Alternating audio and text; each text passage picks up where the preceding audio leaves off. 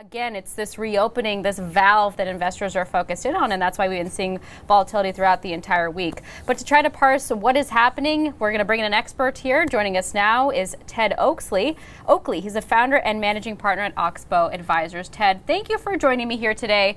I don't want to start with the obvious, but I'm going to. The volatility that we've seen this week, we've seen concerns about reopening of businesses. We've seen obviously civil unrest on racial injustices. What do you think investors were paying attention to most this week? You know, Nora, uh, I think, you know, it started out really with the Fed buying the bonds. And that, that changed the atmosphere uh, over the last four, five, six days. And I think that set them up so that they thought, you know, things will be okay. But generally, I'm, I feel as though the COVID situation, the, the reappearance, is not as strong this time around as the last time with investors. Now, I may be wrong on that. I'm just noticing that they don't seem to be as uptight about it. So I don't think that's as much in the marketplace right now as just as much as the speculative nature of everything going on. I want you to explain a little bit more what you mean by the Fed announcing its purchase of corporate bonds, how that changed sentiment, because it's not the first time the Fed has announced a new measure or a relatively new measure during this pandemic. So, what did change as far as how investors are viewing Fed action? You know, Nora, that's true, but this time, if you remember, we had a big down day on Thursday. That day, the market was down 6%, and it came back a little bit on Friday, started back down on Monday and the Fed basically came in and bought co- corporate bonds. Now, not not low grade, but corporate bonds. And everybody's like, you have to be manipulating the market, or you wouldn't be doing this. There's no reason to buy those. There's nothing there that would tell you to do that. And they can say what they want to, Jay Powell, but it's pure market manipulation. It has been since March, and uh, I think they'll continue to throw it out there. Every time you have weakness, they're going to continue to throw it out until they can't. And that's but that's where you are right now. And that's what I say. When you start doing things you don't need to do, then you know there's something else going on. So if the Fed, it, from your perspective, is seemingly announcing these measures to manipulate the market, where does the responsibility lie going forward when it comes to aiding small businesses, aiding consumers? Is there more onus on the federal government, or what do you kind of expect as far as as stimulus measures broadly? Nora, I wish it was on fiscal policy. That's what I wish it was on. But we don't have the type of leadership uh, either side in Washington to really get that done.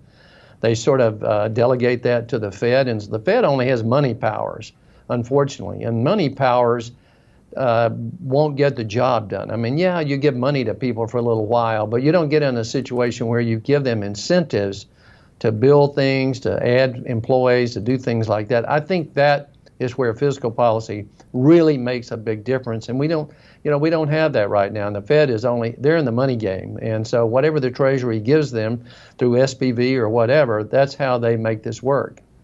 Even though we saw volatility this week, we did end uh, on a high note this week. We saw a weekly gain, the S&P 500, Dow, and Nasdaq closing the week up. Um, I'm curious what impact do you think the closing of these Apple stores will have because it's been this indicator for other retail companies with these brick and mortar locations to try to track how Apple's reopening has gone. Do you think this is going to put a, a damper on investor sentiment going into next week?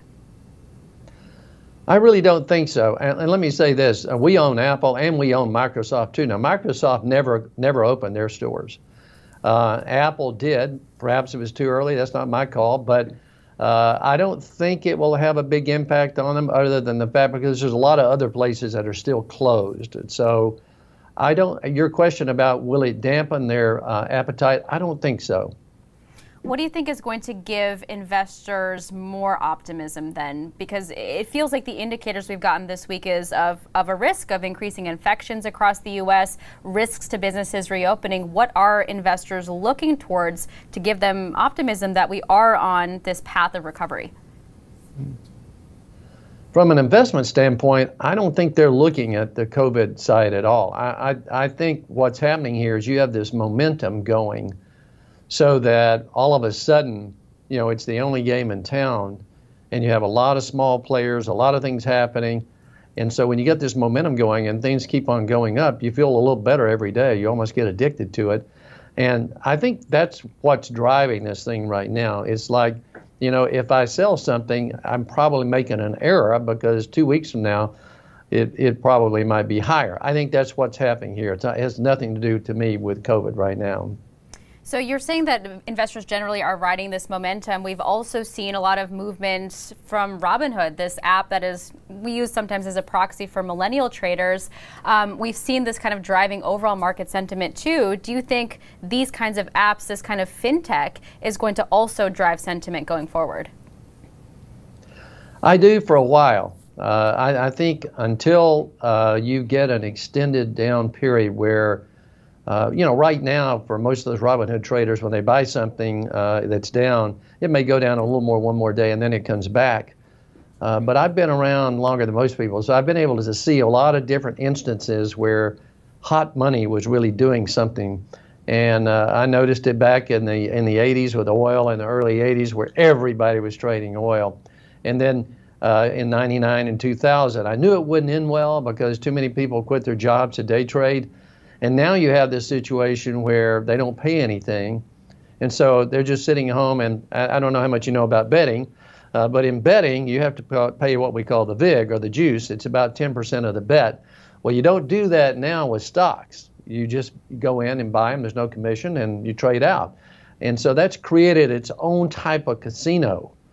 And you're getting a lot of young people somewhat addicted to it. Uh, I, know about the app. I've seen the app. I know what goes on with it, and it's easy to operate. And so I think that's where you are right now with that. I think that I think that something will come, uh, unfortunately, to a bad ending eventually, but I just not right now. Ted, thank you so much for your time and for your insight today. That's Ted Oakley. He's the founder and managing partner at Oxbow Advisors. Thanks again.